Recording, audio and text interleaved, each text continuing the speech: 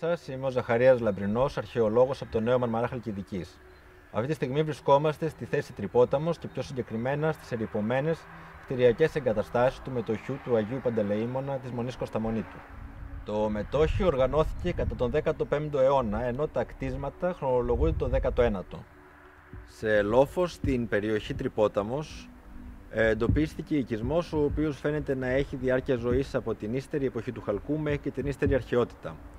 Ενώ κατά την ύστερη αρχαιότητα ανασκαφικά εντοπίστηκαν στην κοιλάδα του Τρυποτάμου μία πολυτελής αγρικία αλλά και ένα λουτρό. Αυτά φαίνεται να καταστρέφονται το 3ο αιώνα μετά τον Χριστό.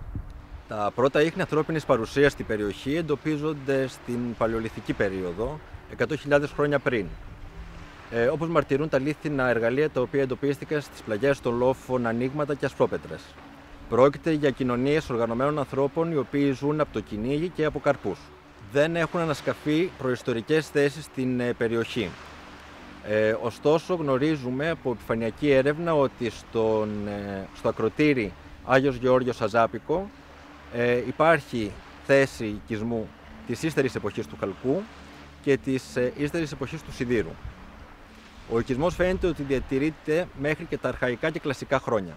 Πρόκειται για ένα λόφο βραχώδη και θαμνώδη. Έχει εντοπιστεί ελάχιστη κεραμική και υπάρχουν ελάχιστα ίχνη οχυρωματικού περιβόλου. Εντός του έχει κατασκευαστεί πρόσφατα η υδατοδεξαμενή. Στη σύγχρονη εποχή, πάνω στο ακροτήρι, υπάρχει ένα εκκλησάκι αφιερωμένο στον Άγιο Γεώργιο. Στη βραχώδη χερσόνησο που προστατεύει το λιμάνι του Μαρμαρά από τα δυτικά, εντοπίζεται διατύχισμα ε, μήκους 120 μέτρων και πάγους 1,80 το οποίο είναι χτισμένο με ντόπια αργολιθοδομή και ασβεστοκονίαμα. Στην ε, ράχη του ενισχύεται από πύργο διαστάσεων 9 επί 9 μέτρα. Πρόκειται για το κάστρο το οποίο ήδη το 1628 αναφέρεται ως Παλαπάνι ή Μπαλαμπάνι. Πρόκειται για το αρχαιότερο κτίριο εντός του Νέου Μαρμαρά, το οποίο χρονολογείται στη Βυζαντινή περίοδο.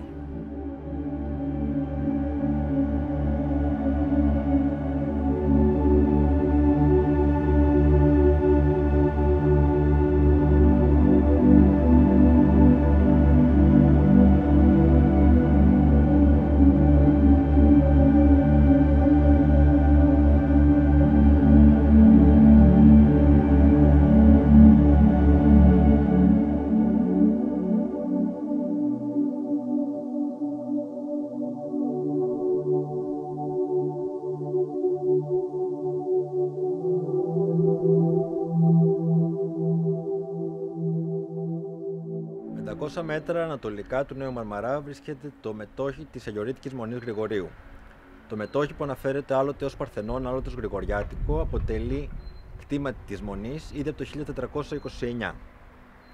Οι κτηριακές εγκαταστάσεις, βλέπετε πίσω μου, χρονολογούνται το 1905, που έγιναν με ευθύνη και φροντίδα του γέροντος Ανανία.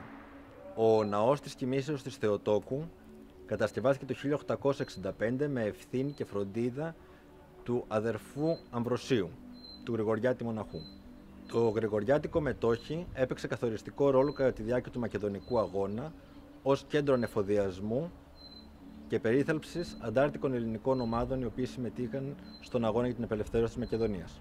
Ο Γάλλος περιηγητής Αβεζού το 1914 που πέρασε από την περιοχή και επισκέφθηκε το μετόχι εντόπισε σε κοντινή θέση τα κατάλοιπα μιας ε, παλαιοχριστιανικής βασιλικής μια παλαιοχριστιανική βασιλική ανέσκαψε το 1938 αρχαιολόγος Κοτζιά και πιθανότατα πρόκειται για το ίδιο κτίριο. Η θέση του οποίου σήμερα όμως δεν είναι εφικτό να εντοπιστεί. Αρχιτεκτονικά στοιχεία παλαιοχριστιανικού κτηρίου βρέθηκαν εντοπισμένα στο ναό. Ταυτόχρονα βρέθηκαν εντοπισμένες και ανάγλυφες στήλες και επιγραφές ρωμαϊκής αυτοκρατορικής περίοδου. Πρόκειται για ενδείξεις που μαρτυρούν την παρουσία ενός προγενέστερου οικισμού στην περιοχή, ο οποίος όμως δεν είναι δυνατόν να εντοπιστεί. Στον Ηρόδοτο εντοπίζεται η πρώτη αναφορά στη Συθωνία όταν περιγράφει την διέλευση του Περσικού στόλου από την περιοχή. Αναφέρει δε τις πόλεις Στορώνη, Γαλιψό, Σερμίλη, Μικύβερνα και Όλυνθο. Σύμφωνα με το Στράβωνα, οι Χαλκιδοί άπικοι είδεσαν στην Χερσόνησο της Συθωνία 30 πόλεις. Οι άπικοι πληθυσμοί φαίνεται ότι εγκαταστάθηκαν δίπλα στους Σύθονε, ένα φρυγικό ή θρακικό φύλλο όπως θεωρούνταν. Το όνομά της Συθωνία το παίρνει από το μυθικό βασιλιά Σύθων, γιο του Ποσειδώνα και της Όσας. Ο Σύθων με την νύμφη Μενθιίδα απέκτησε μια κόρη την Παλίνη. Έτσι η Παλίνη έδωσε το όνομά της στην πρώτη χερσόνησο της Χαλκιδικής, ενώ ο ίδιος στο δεύτερο πόδι, όπως λέμε. Ο Σύθωνας, προκειμένου να παντρέψει την κόρη του Παλίνη, οργάνωσε ένα διαγωνισμό. Ο υποψήφιος μνηστήρας έπρεπε να μονομαχήσει μαζί του και αν ήταν νικητής θα έπαιρνε έπαθλο την κόρη του. Διαφορετικά θα έχανε τη ζωή του. Αργότερα, όταν γέρασε, έβαζε τους μνηστήρες να μονομαχούν μεταξύ τους. Το ίδιο προέκυψε στην περίπτωση του Δρίαντα και του Κλήτου. Η Παλίνη όμως ερωτεύτηκε τον Κλήτο, με αποτέλεσμα να εκμυστηρευτεί τον έρωτά της και την ανησυχία της στο γέροντα που την ανέτρεφε. Εκείνος την καθησύχασε και με δόλο κατάφερε να πείσει τον ενίοχο του Δρίαντα να μην βάλει τους πύρους στους τροχούς του άρματος του αφεντικού του. Εκείνος το έκανε και ο Δρίαντα έπεσε στον αγώνα με αποτέλεσμα να σκοτωθεί από τον Κλήτο.